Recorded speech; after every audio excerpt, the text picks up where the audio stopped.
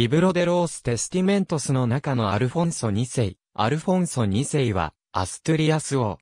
彼の治世は、通算51年間を数え、その間に、伝説上のサンティアゴの墓が、サンティアゴ・デ・コンポステーラで発見されたとされる。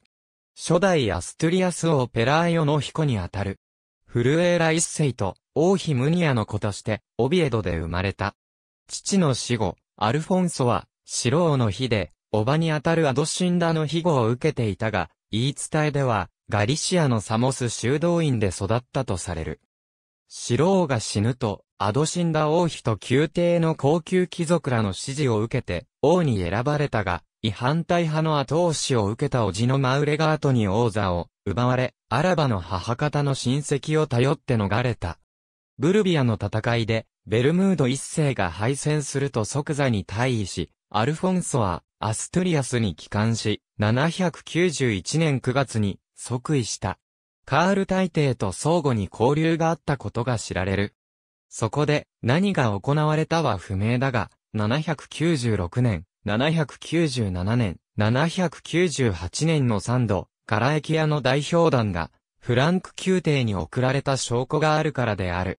彼は798年に、コルドバの大主支配下のリスボンを荒らし、825年には、ナロンとアンセオでイスラム教徒軍を破った。この勝利のおかげで、ガリシア、レオン、カスティーリャで政治的再編が進んだ。彼は、自らの宮廷をオビエドに固定し、教会や宮殿を数箇所建てた。彼の知性のオビエド城外に、サントゥリャーの教会が建てられている。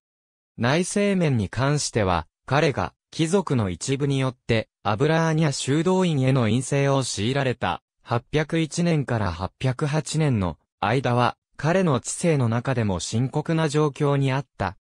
彼は、テウダーノという貴族の助力で大いに返り咲き、以来王国の再編を重要な施策と位置づけ、王権の強化のために、西ゴート王国時代の遺産に関係づけることを始めた。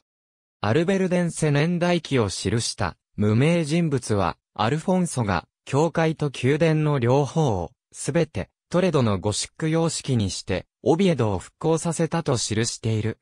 セバスティアネンセ年代記では842年に、52年間、質素で汚れなく、経験にして見事に王国を治め、アルフォンソが死んだことを記している。伝説では、アルフォンソ王時代の814年に、首都サンティアゴの墓がコンポステーラで発見されたとされている。死後、アルフォンソ2世は、オビエド大聖堂を失礼病に埋葬された。一部の歴史家たちが、アルフォンソは、フランスの王家出身のベルタを人したとしている。ありがとうございます。